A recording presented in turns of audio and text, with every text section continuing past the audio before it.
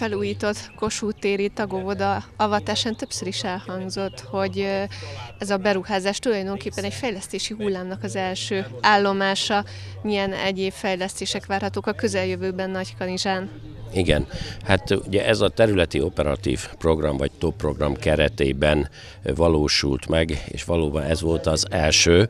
Itt óvodákról, bölcsődékről és egészségügyi intézmények felújítása, illetve új építéséről van szó. Elkezdődik most már a Palini óvoda is, ahol szintén megújul, illetve egy új csoport szoba építésére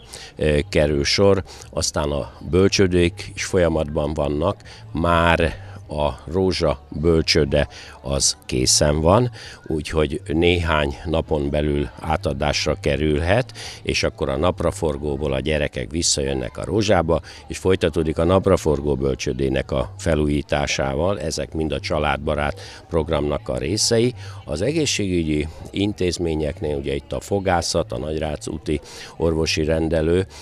valamint a Csengeri úton egy új ifjúsági orvosi rendelőnek az építéséről van szó. Itt a közbeszerzésnek a folyamatában vagyunk, hogyha az sikeres lesz, abban az esetben természetesen ezek is elkezdődnek.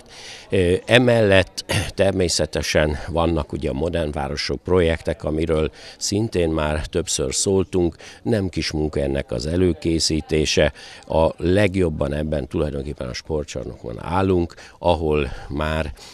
a közbeszerzésnek a végét járjuk, és reméljük, hogy ebben a az esztendőben valamikor itt a nyár folyamán az alapkörletétel is elkezdőd, ezzel elkezdődik tulajdonképpen a sportcsarnoknak az építése. Ferences Kolostornál hasonló a helyzet, és hát ugye ott van a, a TIFES projekt, ez a területi infrastruktúra fejlesztés, amely utak, járdák, illetve hitfelújításról szól. Holnapi nap szintén egy ünnepi pillanatnak lehetünk a részesei, hiszen az Adi sétáló utca, valamint a Zrínyi utcának a, az átadásával tulajdonképpen ez a folyamat is elindul, és már a városban ö, sok helyütt ö, előkészületek, illetve ö, folyamatban lévő útjárda felújítások vannak. Én bízom abban, hogy az év végére ezek ezek a TIFES projektek, és megvalósulnak, és sokunk örömére tényleg útjaink, járdáink szépülnek meg, és ez tulajdonképpen városunk jövőjét szolgálja, mint ahogy ez a mostani óvoda is, amely a gyermekekről szól, és hát gyermekeink a jövőnk, és én eh, kívánok szép jövőt a városnak és sok-sok fejlesztés, hiszen ezek az infrastruktúra fejlesztések bennünket szolgálnak, az itt lévő embereknek az élhetőségét fogják javítani. Bízom abban, hogy nem csak én, hanem akik itt élünk a városban, mindannyian örülünk ennek. Több okát is lehet felsorolni annak, hogy egy átadás önmagán túlmutat, hisz ez egy kezdet, egy olyan folyamatnak a kezdete, amelyik átadásról átadásra mutatja meg azt, hogy milyen fejlesztések történtek, és vannak folyamatban Nagykanizsán. Hisz a véletlen úgy hozta, hogy a beszédemben is említettem, hogy hosszú előkészítő munka után Európai Uniós forrásból és hazai forrásból számtalan projekt indult el, és fejeződik be nem sokára, vagy kezdődik el úgy, hogy majd egy hosszabb, több éves építési folyamat végén várhatóan nagyon-nagyon komoly fejlesztések valósulnak meg Nagykanizsán. Ennek egyik állomása mai a Kossuth óvodának a felújítása, amit majd fogad, fog követni egy bölcsőde átadás, aztán egy újabb óvoda átadás, közben lesznek utátadások, ugyanis kormányzattól nagyon jelentős forrásokat kapott a város annak érdekében, hogy különböző beruházásokat tudjon megvalósítani, és Európai Uniós forrásokból is más jellegű beruházásokat tud megvalósítani a város. És hát annak köszönhető, hogy az elmúlt időszakban a gazdaság jól működött, és egy olyan fajta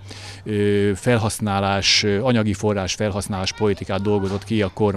aminek a segítségével az önkormányzatok egy jelentős pénzösszeget helyben tudnak eldönteni, hogy mire költsék. Többek között a Kossuth téri óvodának a felújítás is ennek köszönhető, hisz a top forrásokat és a keretösszegeket az önkormányzatokhoz adta le elbírálásra a kormányzat, és az önkormányzat döntötte el azt, hogy melyik óvodát, melyik bölcsödét, melyik utat, orvosi rendelőt vagy szociális létesítményt akarja felújítani. És ahogy ezt említettem, ezekből a forrásokból az első állomásként jellemezhető, amit majd következő átadások és következő beruházások indítása követ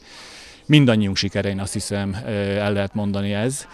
ugyanis mindenkinek a munkája ben van. Ki adóforintjával járult hozzá, ki egy-egy beruházás, vagy tényleg, beruházáshoz tényleges munkájával járul hozzá, úgyhogy nagy öröm, akár annak is lehet mondani, hogy ez a mai nap egy ünnep itt Nagykanizsán, nem csak a Kossuth téri óvodában dolgozók, gyermekek és szülők számára, akik ide járatják gyermekeiket, és ide jönnek nap mint nap a gyermekükért, hanem az egész városnak, hisz egy intézménye újult meg, szépült meg, és tud kényelmesebb, biztonságosabb helyet biztosítani gyermekeink, szám, gyermekeink számára.